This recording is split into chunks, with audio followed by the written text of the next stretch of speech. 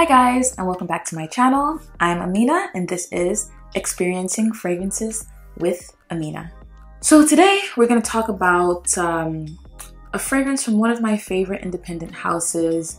Uh, it's quite a polarizing house, but to me, I put all of that aside and focus on the product, which is the fragrance. And I feel like this house uh, produces lots of good quality and unique and quite signature to the house scent, if that makes any sense. Um, scent, if that makes any sense. Anyway, so today we're talking about the house of Aaron Terence Hughes. And we're talking about the scent Chocolate Rose Oud. I feel like my camera's all sorts of whack. This one is one of my favorites, but I, like I said, I say this all the time. I really do like almost all the fragrances that I have by Aaron Terence Hughes. This one in particular, I used this so much. I haven't had this that long, but I've used it quite a bit. This fragrance is really dark and heavy. It's definitely a long lasting uh, scent. To me, this is a perfect scent for the winter during the winter time, I wore the hell out of this. I still wear the hell out of it when I just feel like it, and we're in May. So, really, in my opinion, it doesn't really matter when you wear it, but to me, I feel like this really shines during the cold, uh, cold weather months. So, I'm going to go ahead and spray a little bit of this on my arm, and we'll go ahead and talk about what I'm smelling, and then we'll talk about the notes and then go from there.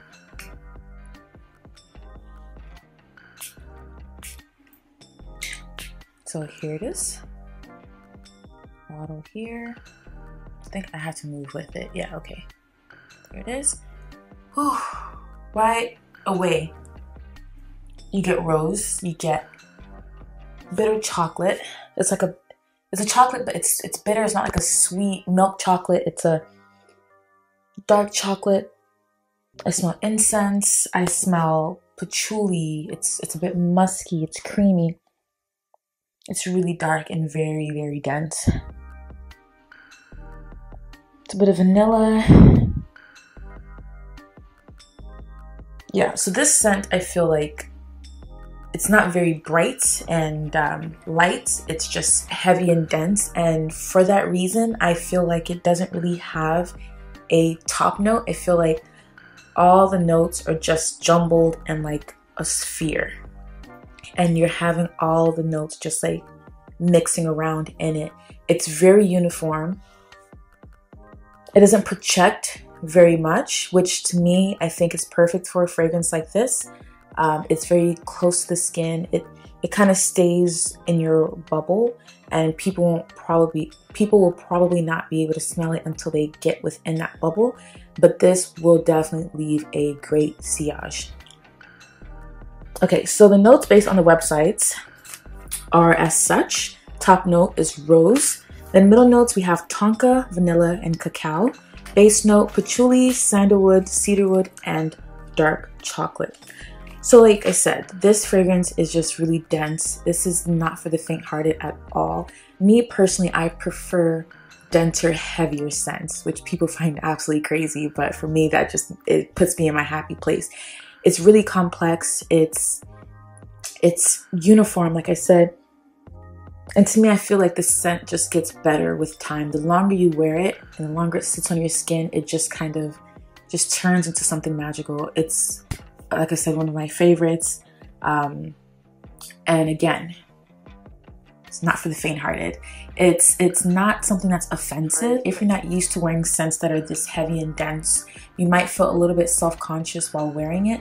But as I said, it doesn't project very well. To me, this is much a fragrance that I wear for me because it just makes me feel really happy. It makes me feel really good. It's very sensual. It's it's it's unique. It's to me, heavy fragrances are sexy, and this is extremely sexy, in my opinion. I love this fragrance. Just smelling it just reminds me of the cooler months when I first moved out here to Scotland um, in like October, November, when it was just really, really cold all the time. Um, but even now, we're in uh, May and it's still quite cool, so I would still wear this anyway. just because I really, really do like it. So with the house Aaron Terence Hughes, I have a lot from his collection, and I like I said, he's one of my favorite uh, independent fragrance houses. And as I said at the beginning of the video, he's very polarizing. But when looking at houses like Aaron Terence, Terence Hughes, try not to look at the person behind the uh, fragrance. To me, I actually think he's really cool. He's very generous. I like how he's just really brutally, brutally honest when he's reviewing fragrances. He kind of tells it he says what's on his mind and if you don't like it you don't like it. And i like that attitude about him. But some people find that offensive and find that a bit um, um, arrogant. But for me i feel like he's very passionate in his work and it shows when you when you try out the fragrances. And if you have the opportunity if you can get a decant or a sample from somewhere try it. I'm telling you it'll change your life as it has mine uh, I would say Aaron Terence Hughes is one of the first kind of niche brands that I delved into, or not niche, but just something that was on the other end of commercial or designer. So I feel like his fragrances are very special. They've kind of opened up my mind to uh, things that I didn't think I liked, but I actually really do.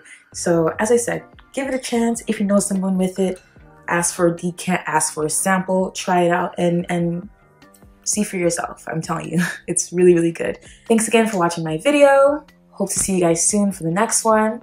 Remember to please like, share, and subscribe. You guys have a wonderful day. Take care and be safe. Bye.